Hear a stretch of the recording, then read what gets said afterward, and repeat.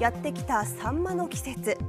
去年より水揚げ量も増え秋の味覚を楽しんでいる方も多いと思いますが今後痩せていく可能性があるというのです。なぜなのでしょう？今年のサンマは美味しいよ。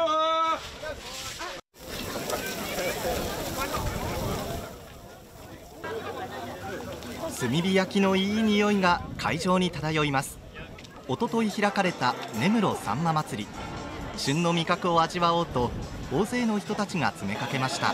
今年のサンマどう美味しい。地元で食べるのがまた美味しいですね、漁期が少し早まったことと漁場が昨年よりも若干近くにできたことから、昨年よりは少し、たくさん取れてますので。近年不漁が続くサンマですが今年は1000トンに迫る水揚げの日もあるなど好調。油も乗っているという声が上がる一方で昔のサンマと比べるとちょっと小ぶりだねちょっとちょっと小ぶりだね。以前に比べ痩せているというのです。その理由が。これがあの、えー、ネオカランスになります。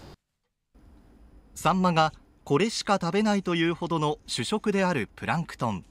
ネオカラヌスプルムクルスの生態を調べた北大の山口敦准教授ですこのネオカラヌスプルムクルスは7度 C が頭打ちで11度 C になるともう住めない。4度5度高いんですよ。平年に比べて。あもうほとんどが赤いですよ日本の周りって。背景にあるのは温暖化。サンマが取れる北太平洋では近頃平年より高い水温が5日以上連続する海洋熱波という状況が続いています。一方で主食のプランクトンは暖かい海水が苦手です。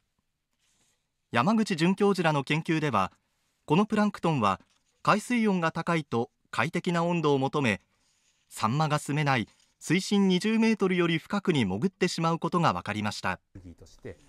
サンマの住む海域で餌がなくなっていく状況が進むというのです。以前のような、えー、餌環境にないということから考えるとあまり大きくなれないんだろうな。サンマの油の乗り方はほとんどが脂肪分というこのプランクトンをどれだけ食べられたかによって決まるといいます。痩せていくサンマは地球温暖化の裏返しでもあります。